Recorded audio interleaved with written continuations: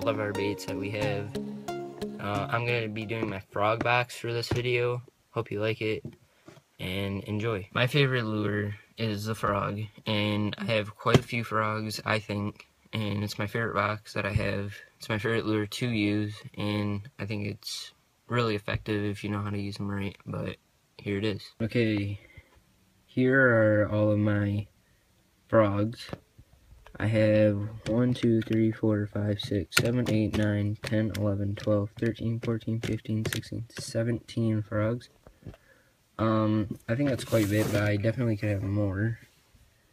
Mostly Booyah Pad Crashers or Booyah Poppin' Frogs, but yeah, here we go. Um, right here is a Booyah Pad Crasher. It's like a bullfrog color.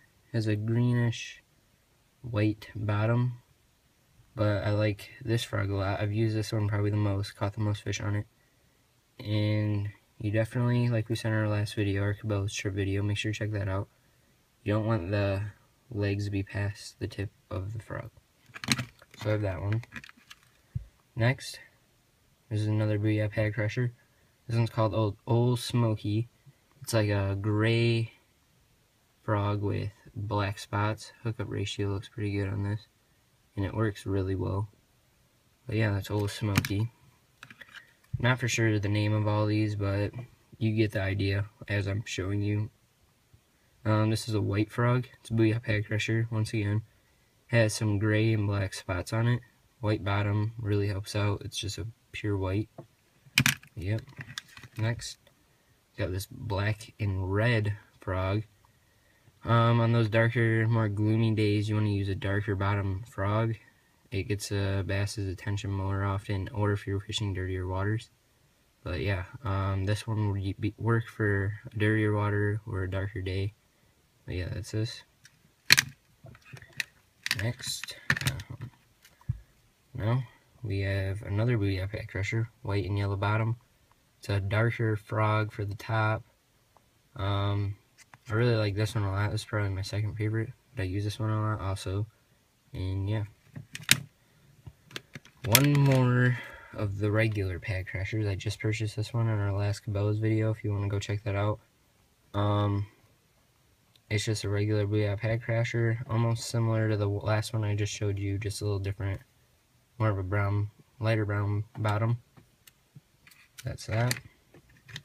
Next, Booyah Poppin' Frog. I like to use Poppin' Frogs a lot. Also, it depends on the day. But black bottom, darker day, darker water. Let's throw this on. This will work perfect. Next is a shad colored Poppin' Frog.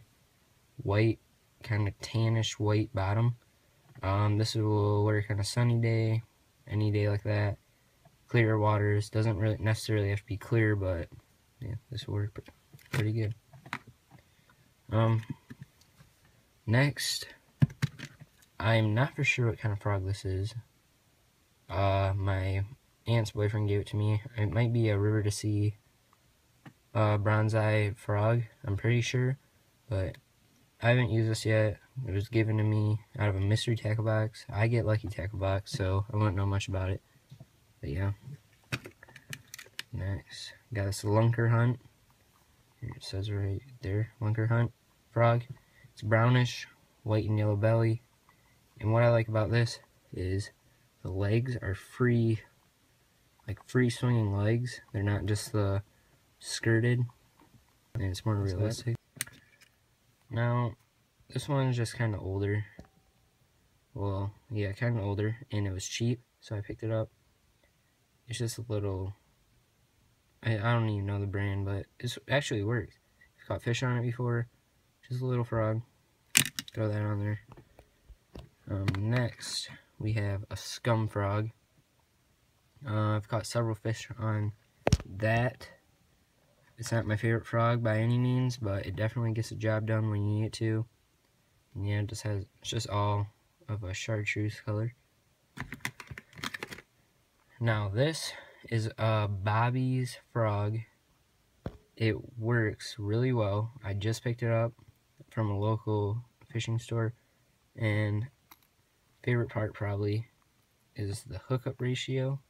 has a great ratio. I don't know if you can see.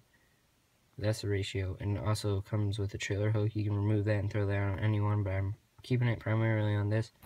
And it actually has a rattle to it.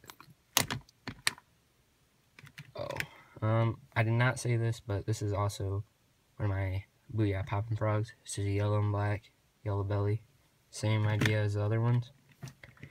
Now, I have the KVD frogs. Um, this is just I also got this on our last Cabela's video if you want to check that out. I like these frogs a lot.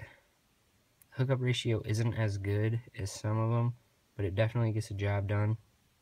Um, has little realistic arms and more of a realistic belly. Has a different texture. Yep, that's a sexy frog. This is just a black one for those darker days, gloomier waters. Just hooked myself. But yeah, same idea as the other frogs, just gets the job done. Has a rattle to it. Now this is another sexy frog. It's more of like a confetti almost color and has a white belly so it really works. It, many might not think it works but it has a white belly and those are the best. Many fish are attracted to the bellies. But that's it. Got this one for pretty cheap I'm pretty sure so I picked that up and it works. Thank you for watching another Jawbreakers fishing video. Um, there's going to be many more of these to come, but we're going to do some more fishing videos soon when the water opens up. Right now where I live, it's frozen over. And me and Ethan are to do some fishing videos, some challenges, we'll go to Cabela's, have some more. Thank you for watching. Make sure to like, subscribe, and comment.